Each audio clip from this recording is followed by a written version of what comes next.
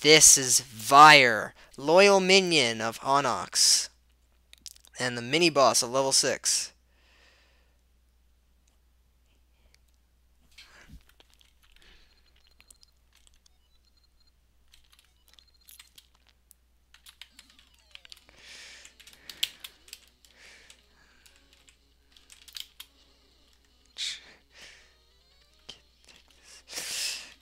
Ah. So yeah, he flies around shooting various colored uh, uh, fireballs. Blue ones, he fires two. Blue ones, he fires two at a time, and they go slowly go towards you. Yellow ones go to the this eventually.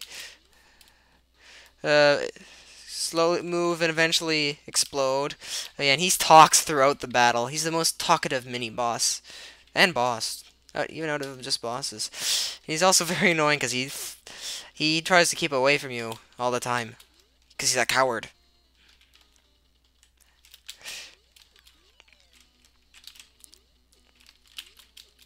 Jeez. Ah! I think he also fires red fireballs, but I don't know. Oh, you can destroy the, the his. You can destroy his. Destroy his yellow ones. And you can now you can destroy his fireballs. Period.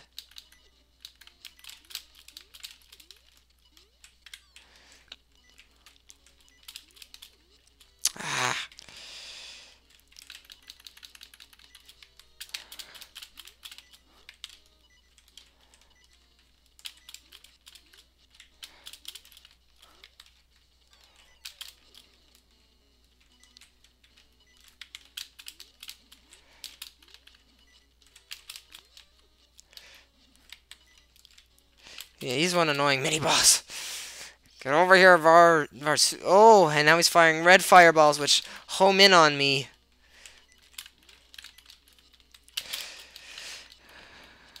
Oh, God, that's a lot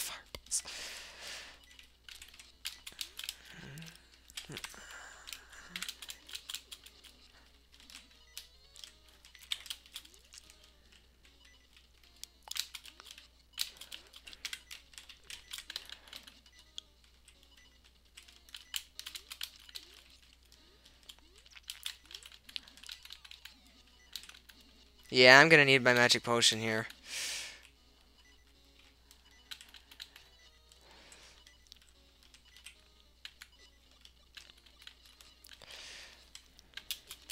Ah!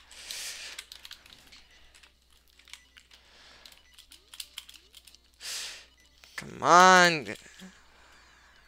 There. Down to the last phase where he spits into two small, two mini Keese.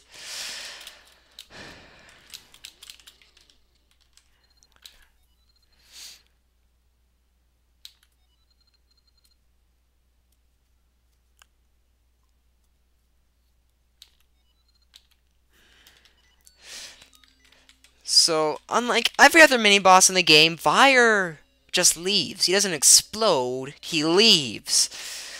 This is because Vire actually has a minor importance to the plot.